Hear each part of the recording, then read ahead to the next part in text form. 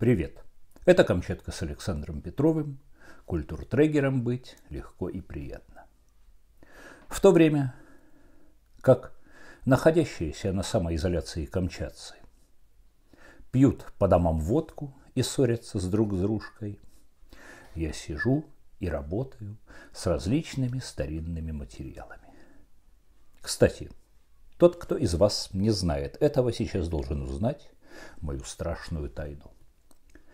Я не только снимаю и выпускаю фотоальбомы о различных местах Камчатского края.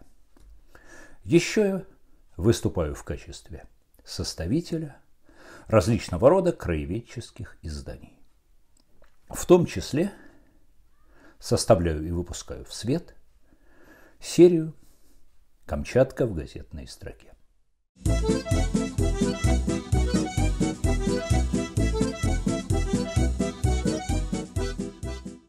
Началось все вот с такой вот книги «Заповедная Камчатка» в газетной строке.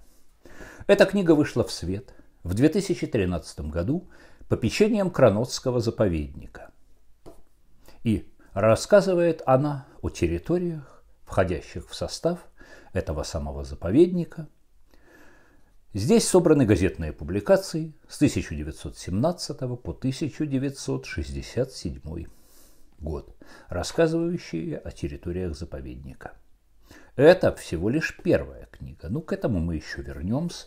Да, это правда, это правда. Потом, в прошлом году, я выпустил в свет в том же самом издательстве «Камчат Пресс» вот такой вот двухтомник «Елизовский район» в газетной строке. Этот двухтомник был приурочен к 70-летию района и в его состав вышли выбранные газетные публикации о территориях нынешнего Елизовского района. Первый том включил газетные публикации с 17 по 49 год века минувшего, то есть до создания Елизовского района как административной единицы. Второй том включил в себя публикации с 49 года по 91 год прошлого века, то есть до начала новейшей истории. И вот сейчас, в эти самые дни, прямо перед началом жесткого самоограничения, в том же самом моем любимом издательстве «Камчат Пресс» вышла в свет книга. «Рад я, что дожил до этого времени!» Камчатка, 1941-1945, военные годы в газетной строке. Я уже рассказывал об этой книге, сейчас скажу чуть более подробно.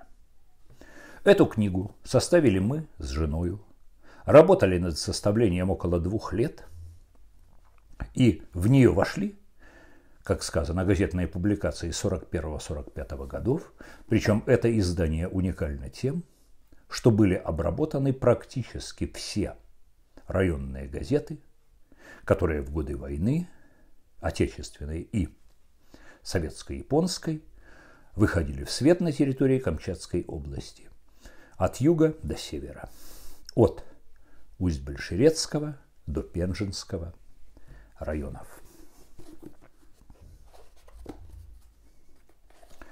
Чтобы вам было интересно, прочитаю маленькую заметку. Лучшие охотники села Ивашки. Охотник села Ивашки Михаил Попов убил шесть медведей. Трех штук он нашел в берлоге. С целью экономии патронов Попов решил обойти ним холодным оружием. Двух медведей ему удалось заколоть пикой. Но против третьего старого медведя пика не устояла, сломалась. Тогда отважный охотник быстро снял с плеча винчестер и выстрелом в упор убил наседавшего зверя. Это оказалась медведица.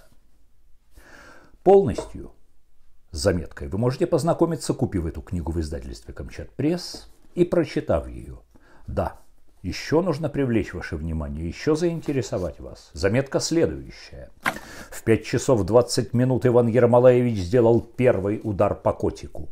После удара дрыгалки котик пытался подниматься, но проворный, с комсомольской хваткой Бадаев Игнат, набросившийся с ножом, немедленно докончил зверя. Через пять минут забойная площадка была завалена убитыми котиками. Она напоминает поле битвы за нашу родину, говорит секретарь парторганизации товарищ Бадаев. Наконец-то вы узнали правду. Эта книга, Камчатка 1941-1945, военные годы в газетной строке. Она только что вышла в свет, и ее можно купить в издательстве Камчат Пресс.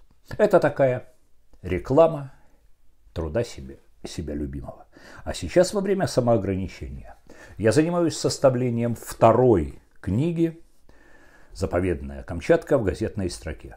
В нее войдут публикации с 68 по 91 год века минувшего. Вот такими вот милыми делами я занимался до злобного нападения коронавируса на бедную Россиюшку и продолжаю заниматься сейчас. Но это не точно. Теперь, как вы уже привыкли, ставьте лайки.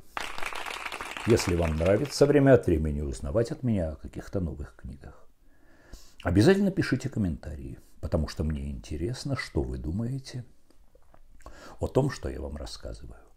Ежели вы на моем канале впервые, то сейчас в правом нижнем углу появится подсказка, выполнив которую вы будете получать уведомления о новых роликах на канале. Вот эта подсказка. Делайте, что она рекомендует. Сделали? Молодцы. До свидания.